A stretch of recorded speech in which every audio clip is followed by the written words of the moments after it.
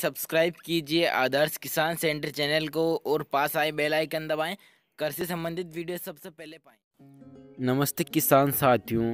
किसान साथियों, आज हम बात करते हैं कि रिंग पिट मेथड विधि से गन्ने की बिजाई करने से क्या क्या फ़ायदे हैं? तो किसान भाइयों, अगर हम इस विधि से गन्ने की बिजाई करते हैं तो लगभग एक एकड़ में एक हज़ार क्विंटल तक गन्ना उत्पादन कर सकते हैं।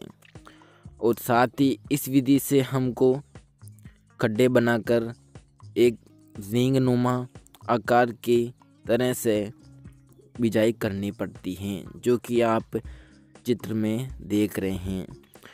तो किसान साथियों, इस विधि से हमको ये फ़ायदा होता है कि जैसे हम एक अलग अलग लाइनें बनाकर बिजाई करते हैं और इस विधि से बिजाई करने से ये होता है कि लगभग एक खड्डे में तीस से चालीस आँखें आ जाती हैं गन्ने की।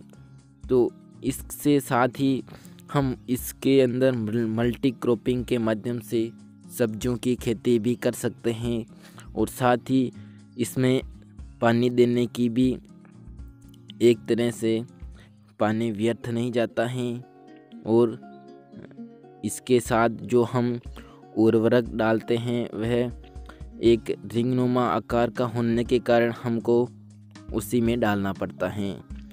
वह भी व्यर्थ नहीं जाता है और इसके अंदर हमको यह ध्यान रखना है कि हमको खड्डे की गहराई रखनी है, वह लगभग तीस सेंटीमीटर के आसपास रखनी है और इसकी चौड़ाई लगभग सत्तर से पचहत्तर सेंटीमीटर रखनी है।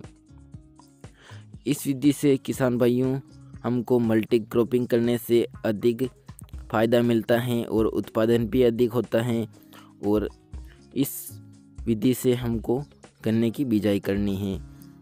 दोस्तों, इस वीडियो को लाइक कीजिए और सभी किसान भाइयों तक इसे शेयर कीजिए। धन्यवाद।